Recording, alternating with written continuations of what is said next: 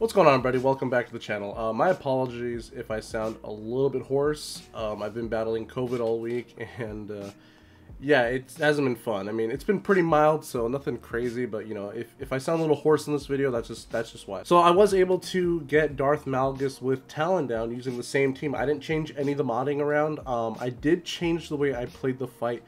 I did fail against this last week and I kind of learned that I had to play it a little bit differently. I only changed two things in the fight, but um, for the most part, it pretty much plays out the same. And I'll explain how we're able to actually outspeed the charge meter that Talon provides for the Darth Malgus team. So let's get started. Okay, so let's take a look at my opponent's Darth Malgus. Relic 7, all health mods. He's at 260 speed. Um, he's not running any crit avoidance. Darth Revan is R5, and his Darth Revan is at 351. Also, no crit avoidance. Bastila Fallen is Relic 7, and she is going to be at 287 speed. Also, no crit avoidance outside of her mastery. And then we have Darth Malak with 240 speed, also no crit avoidance. And then his Talon was R5 with 268 speed. I'll put all the speeds in the description below as well just so you guys can see how fast everyone is after Omicrons, leaderships, and Datacrons, etc. My opponent did have a level 9 Malgus Datacron. We can take a look at it real quick. So he does have special damage, armor. He's got a little bit of everything here. But he has the uh, health and recover, health and protection recovery when they have less than 3 buffs. The offense stacking when anyone, anyone gets fear, pain, or shock. That's probably the best one um, for Malgus for level 6. Alright guys, and here's our team. Um, nothing's changed. Modding is exactly the same. 268 speed on Aurra. We have Greef sitting at 320. Bossk is at 324. Our Zam is 361. Again, you don't need his 361 Zam. I just did this that way. I'm not limiting myself on which Malgus teams I can and cannot fight. And then, of course, we have Mando sitting at 287 um, with 150% crit chance. And this is the Datacron that I used. Um, this is the same one I used last time. It's a in my opinion, this is a pretty friend, budget-friendly Datacron with a little bit of armor pen, uh, physical damage, and the 25% turn meter that will give to Greef and Mando. Alright, now here's one last look at my opponent's Datacron, just to clump it all together the way you guys can see, and then I'll fast forward a little bit so we can see where my Datacron is at.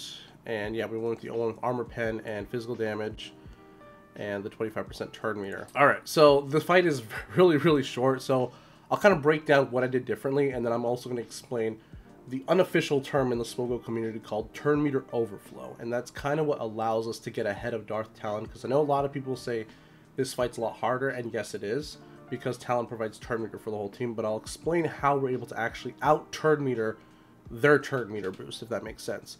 So, first things first, we got to get the crit. Now, I want you guys to pay attention to Mando's turn meter here because we're actually going to double loop him. We're going to get him to take two turns before anyone on our opponent's team takes a turn. Um, so we got that first crit with Mando, just like the last fight. Um, we're going to target DR and we're going to pass the crit damage up over to Aurra Sing, setting up for that kill on DR. Now, this is what I did differently. Um, in the in the previous fight, I threw the thermals, or I think I used the goggles. It doesn't really matter basically I did an AoE debuff with the Zam because I was like, well, Zam doesn't really do anything here. That's actually not the case. So if you notice, DR still has some protection.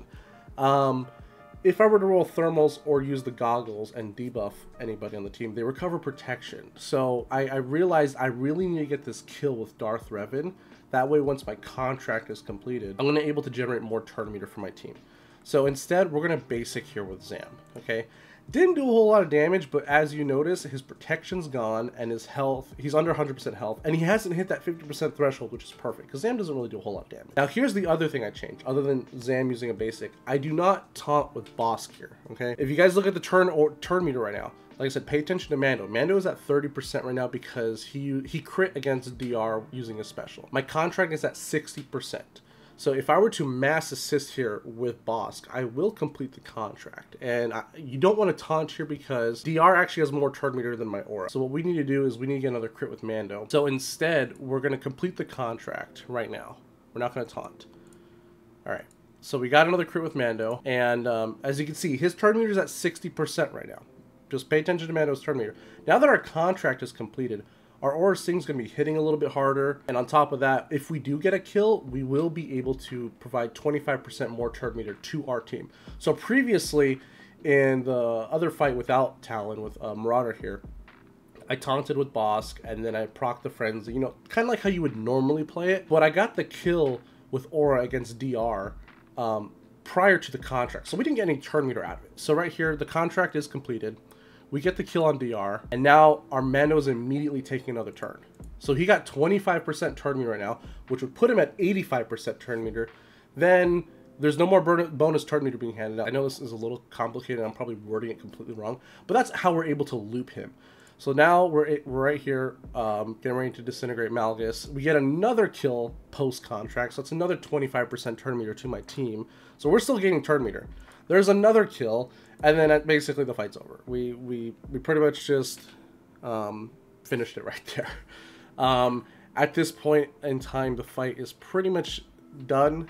Uh, we just have to wait to clean up Talon and Malak, and we'll get full banners. So, but I'll, I'll I will go back and I'll explain how we're able to outspeed Talon because there is a lot kind of going on within a very short time frame. I mean, this fight it, it really is only like a minute long. Um, but yeah, no, it is it is possible. It is possible. You just need the right modding um, and a little bit of RNG on the crits. But like I said, if you get a lot of crit chance on Mando, I think you're okay. So here I don't decide not to disintegrate because I want to go for full banners. You know, being a little bit arrogant and cocky here, but um, I, I, definitely think I have a shot at full banners. So we'll just wait for uh, Greef to give her everyone the go ahead, and then uh, on Mando's next turn we disintegrate. And there you go, 65. Okay, so I want to rewind a little bit and talk about turn meter overflow. Okay, now that you guys have seen how the fight works, how are we able to outspeed Talon? Because anytime you attack the leader, um, if Talon is there, she's giving the team 5% turn meter. So when we do the mass assist with Greef, we're hitting Malgus four times. So there's four separate instances of damage right there. So the whole team just gained 20% turn meter. However, my Mando is gaining more. He's gaining 30% turn meter, okay? So he gets the next turn priority, okay? This is going to be really hard to explain, so I'm to try and do it as uh, carefully as I can. So my they they just gained 25 the whole enemy team just gained 20% turn meter, okay? My Mando gained 30%. The rest of my team gained 15 because when Mando crits, he gives himself 30% and the rest of my team gains 15%. So Mando takes priority because he got he he gained the most amount of turn meter and his turn meter bar is full. Since he's about to crit again and he's taking priority, he's giving himself an additional 30% turn meter. However, his turn meter is no longer full. You know, it just it just reset. He's back at 30% now. But my entire team just gained an additional 15% turn meter. So remember, they gained 20% turn meter. We just gained two separate instances of 15 which equals 30, which puts us ahead of what Talon gave them. So yes, they did gain 20% turn meter, but because we are able to kind of cut them off with my Mando taking priority and him allowing my team to gain an additional 15% turn meter, that's what's called turn meter overflow. And then, like I said, um, having the contract completed on Aurra Sing's turn, that way we're allowed to pump out even more turn meter. Um, it, it, that's pretty much how we beat this team. Uh, more or less. Well, guys, that's gonna be it for today's video. Um, I just wanted to show you that uh, yeah, you can do it with Talon. Um, it's more or less the same fight. Like I said, you just got to change up the not taunting with Bossk and using the basic with Zam to soften up DR for the for Aurra to get the kill. Um, a little bit of sad news though. Um, this counter disappears next week. I mean, um, it didn't really hit me right away when I when I made the first video last week, but um, I'm using a set two Datacron to do this, and set two will not be back next 5v5. Set 2 will go away after 3v3.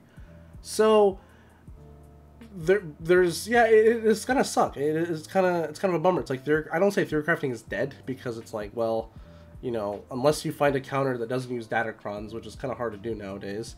Um, yeah, this counter this counter is going to be gone literally next week. However, though, there is a bit of a positive note to that. The positive note to that is I do believe that Datacrons are going to be returning.